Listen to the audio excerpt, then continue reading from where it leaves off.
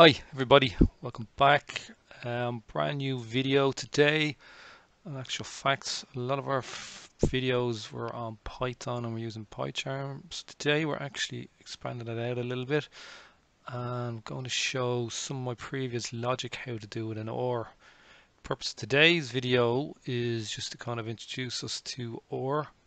Look at the system, look at very some very simple logic and just get used to the familiarity of it. Essentially, R and Python are very, very similar. And R is a language and environment for statistical computing and graphics. Probably, I'd say, may have better uh, statistical computing and graphics, but then Python has a lot more packages. So a lot of people use Python, some people, a lot of people use R. It's a matter of choice, but I wanted to kind of branch out a bit and give a bit more flavor to exactly what it's about. One good thing about R is what you can do is you can actually run Python scripts within R. Uh, I've done one already, um, uh, some some tested it, so I will be doing my next video will be on that. So to start off um, today, we downloaded um, a package called RStudio. So to, in order to run R, there's two things you need to do. I'll just take you here. So you need to go to R Okay, and I think some software from R you need to download. So you can go in here and have a look at the links. So I would recommend that. And then obviously you need to download R. I recommend to get that as well. There's a free version, I think, in here somewhere. It's open source. Yeah, it's free. So what the nature of uh, the video today that I'm running will be using those two packages. Okay. So let's just kind of look around the kind of the screen first before we get into the code. Code's very straightforward. So I've created an R file here, okay, and it's I've basically created a project and within that it's called an R file. So this is my simple R file, but you can, there's different types of files you can create. Um, so I can create a new file, I can cut a markdown, a plumber API, shiny web, there's, there's lots of different ones, so I'm not going to go into them now, but um, I will go through them in, in, for, in other um, videos, but for the moment, for today, keep it simple. Uh, we're doing a, a, a simple, uh, an R file, a simple R script.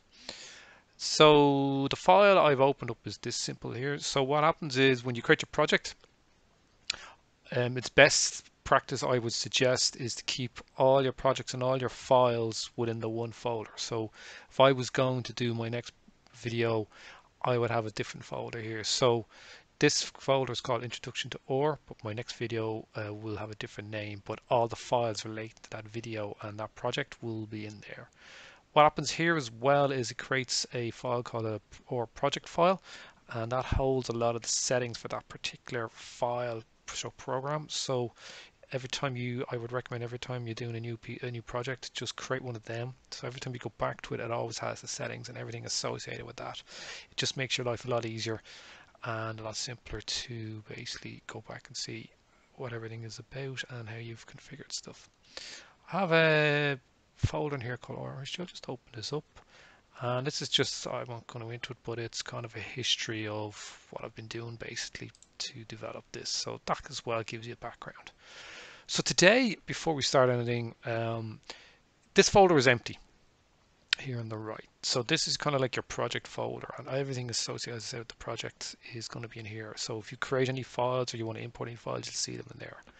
And it's best to keep them there. Now you probably could say as an example, we're going to be using this in a second import text. You probably could put it in a different folder, but then in the code, you'd have to reference that. So if you have the file in your actual folder where the project is stored, if you don't give it a um, a reference to where it's stored, it will automatically go to the project folder first to look for it.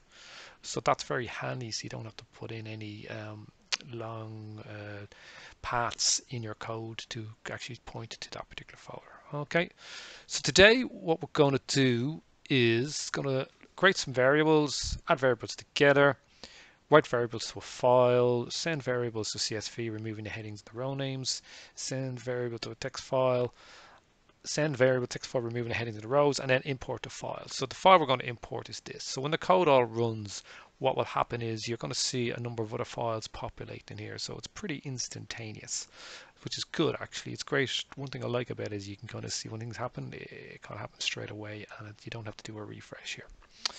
So this is going to be pretty straightforward if um, you know if you've been doing program for a while or you've kind of even just getting your hands dirty just to kind of figure out things. So I've created two variables A and B here and C. So when this code runs, you're going to see this pop. You should see this populated over here, and it's going to just basically. The good thing about it is it shows you the output of any calculations or any variables you've created. So next thing then is it's going to basically take these three variables and it's going to write them to this file here. So this is right, very, very straightforward. It's actually quite easy. And it's going to call the files A, B, and C. So we'll see them over there. Um, then we're basically what we're going to do is say, okay, again, we're just going to send A to uh, a file name .csv. Just going to call a file name. Very straightforward.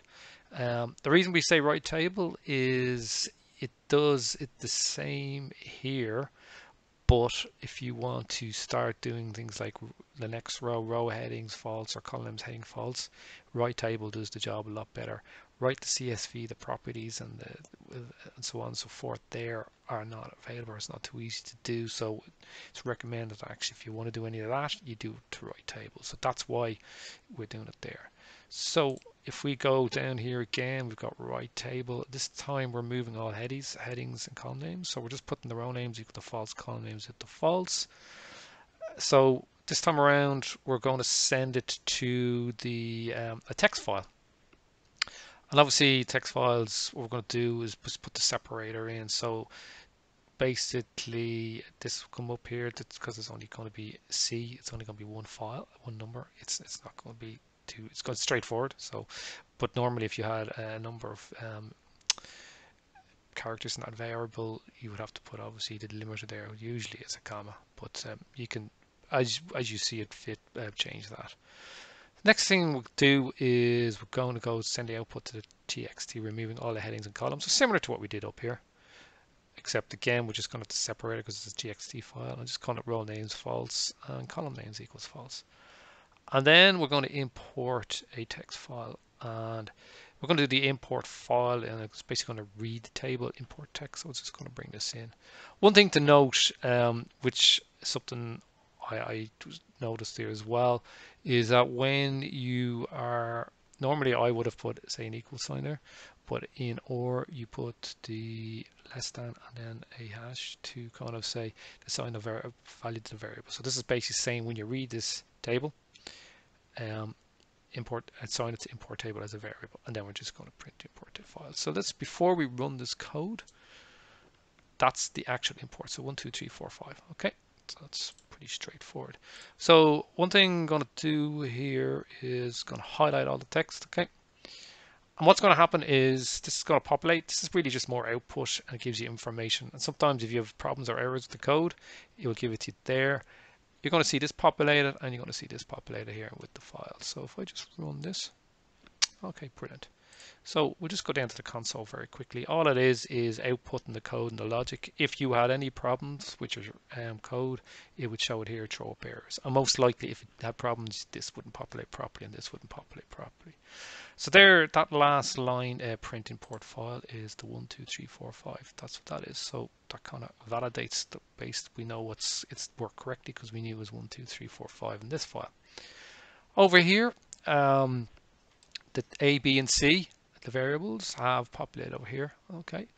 So that's basically that's that's just showing you the different variables. If so, be it handy, suppose if you're working through the code and you want to see what values are in the logic and created variables, you could reference this and then you could write that in your code to reference those knowing you've got the right values or whatever values you wanted to populate in here. So finally then it's actually created the files we discussed over here through all these different um, lines here. So all these from lines really from 14, if we go down here, so these lines all the way down to here. Okay, so if I just basically, if I show you them quickly, um, just, you can just do a view file here. Okay, so that's a.csv. That's b. So these are the variables. Okay. C3. Okay. Then if we go to file name, which is this one here. So the, again, it's going to be a. So we should see the value of one in this. Okay, which is one. And if we go to the next one's going to be remove headings It's three. So there we go. There's an example over here. Um, we've asked it to remove the headings. So we put, because of this here, when the files come in, literally it's come in, um, or when we sorry we've we've written this sorry, when we've written it out to the file, we basically said um, just have no headings on it, just put the, the value in of the variable in. So it's literally just thrown three in. That's all that is. Okay. Um, so if we go to the txt file again, look, it's it's included the headings and it's the value three because we assigned the value as c. And if we move this again, then the txt file we've we've asked. If we go back here, the txt file we've asked to have no row names and no column names. All right, so that's a quick introduction into R, how to run some very basic um, statements to basically add some variables, read and write it to files, you know, print out some stuff, print out some variables, and um, basically imports um, some data from a text file as well. Obviously, just showing you the, the console here very generally, um, its outputs, and obviously this is the project folder to where all the files that you created through the write statements are saved. So on one screen, in a way, you can kind of see a number of different things, what's happening with the project. It's very handy like that. Um, so if these didn't create here and we had no error here, which would be very wouldn't would be odd, it should show you some error, you'd know there's a problem. So that's it for this video. I hope you've enjoyed it. Uh, please give us a thumbs up and subscribe to our YouTube channel. We're also on social media and um, we're on Twitter and Facebook as well. So all these video, this video will be put up online and posted through those mediums. Hope to see you again soon and thanks for visiting Data Analytics Ireland. Take care. Bye.